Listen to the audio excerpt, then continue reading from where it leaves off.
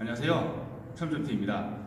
오늘은 스트로크 한카에 관련된 영상을 좀 찍고자 합니다. 이제 천장 작업하시는 분들한테 좀 굉장히 좋은 제품일 것 같아요.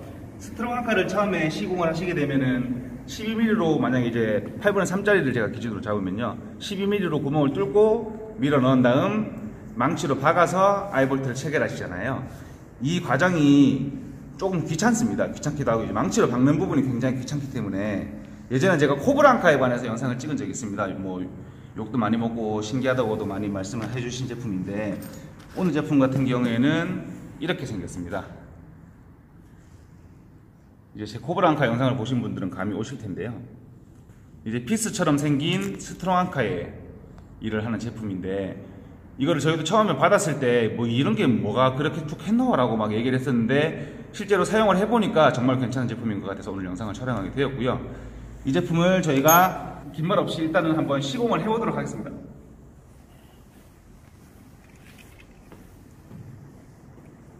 처음에 스트럼 한 칸에 12mm로 타공을 해주셔야 되잖아요.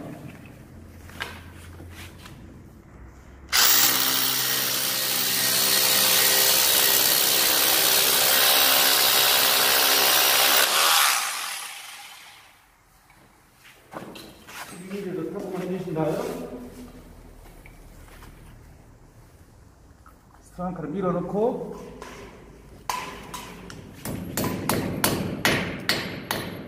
이렇게 망치로 밀어넣어야 작업이 끝나는데 지금 이 제품 같은 경우에는 6mm 타공으로 하시면 되거든요. 6mm로 체결하신 다음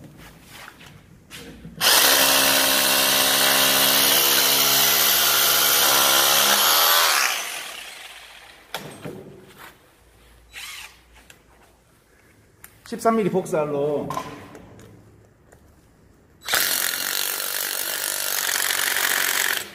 제가 좀 구멍을 덜 뚫었네요. 이렇게 하시면 시공이 완료가 되거든요.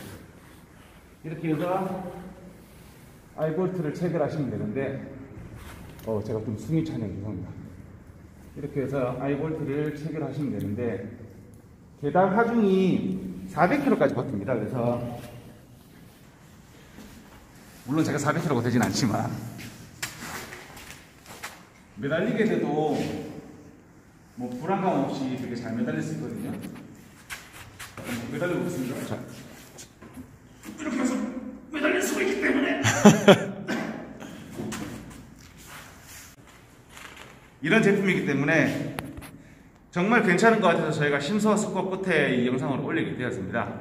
제품 이제 제, 제품명이나 그런 걸 제가 설명란에다가 남겨놓을 텐데 아직 이 제품이 나온 지가 얼마 되지가 않아서 많이 나올지는 모르겠습니다. 일단은 제가 제품명과 규격을 제가 저희 채널 설명란에다가 남겨놓겠습니다.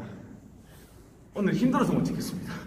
오늘 영상은 간단하게 여기서 마치도록 하겠습니다. 참여전 TV였습니다. 감사합니다.